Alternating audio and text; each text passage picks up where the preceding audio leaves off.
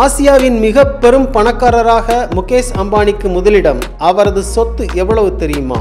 ஆசியாவின் மிக பெரும் பணக்காரர் என்ற பட்டத்தை இரண்டாவது ஆண்டாக ரிலையன்ஸ் குழுமத்தின் தலைவர் முகேஷ் அம்பானி தக்க வைத்துக் கொண்டுள்ளார்.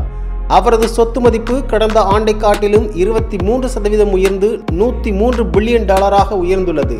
டூரு நிறுவனம் வெளியிட்ட உலக பணக்காரர்கள் பட்டியலில் டாப் டென் இடங்களில் இந்தியாவிலிருந்து ரிலையன்ஸ் நிறுவன தலைவர் முகேஷ் அம்பானி இடம் பிடித்துள்ளார். அதே போல கடந்த ஆண்டை காட்டிலும் நூத்தி ஐம்பத்தி மூன்று சதவீதம் சொத்து மதிப்பு உயர்ந்து அதானி குடும்பத்தின் கௌதம் அதானி குடும்பத்தினர் ஆசியாவின் மிக பெரும் பணக்காரர் என்ற இரண்டாவது இடத்தை பிடித்துள்ளனர். கடந்த ஆண்டை காட்டிலும் அதானியின் சொத்து மதிப்பு கூடுதலாக நாற்பத்தி ஒன்பது பில்லியன் டாலர் அதிகரித்துள்ளது. நைகா உரிமையாளர் பால்குனி நாயர் தனது ஏழு புள்ளி ஆறு பில்லியன் டாலர் சொத்துக்களுடன் பட்டியலில் முதன்முறையாக இணைந்துள்ளார். இரண்டாயிரத்தி இருபத்தி ரெண்டாம் ஆண்டுக்கான உலக பணக்காரர்கள் பட்டியலை ஹூருன் நிறுவனம் மற்றும் எம் த்ரீ எம் என்ற ரியல் எஸ்டேட் நிறுவனங்கள் இணைந்து வெளியிட்டன.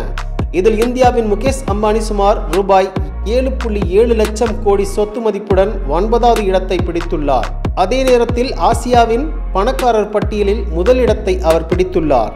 இந்த பட்டியலில் ஸ்பேஸ் எக்ஸ் மற்றும் டெஸ்லா நிறுவனர் எலன் மாஸ்க் முதலிடத்திலும் அமேசான் தலைவர் ஜெப் பெசாசோஸ் இரண்டாம் இடமும் பிடித்துள்ளனர். சீராம் மருந்து நிறுவனத்தின் நிர்வாக இயக்குனர் சைரஸ் பூனாவாலா டிமார்ட் நிறுவனர் தமானி லட்சுமி மிட்டல் ஆகியோர் உலக பணக்காரர்கள் நூறு பேரில் முதன் முறையாக இடம் பிடித்துள்ளனர். இந்திய கோடீஸ்வரர்கள் பட்டியலில் முகேஷ் அம்பானிக்கு அடுத்தபடியாக சுமார் ஆறு லட்சம் கோடி ரூபாயுடன் அதானி இரண்டாம் இடம் பிடித்துள்ளார். ரூபாய் இரண்டு லட்சம் கோடி சொத்து மதிப்புடன் ஹெச்சிஎல் நிறுவனர் ஷிவ் நாடார் மூன்றாம் இடத்தில் உள்ளார்.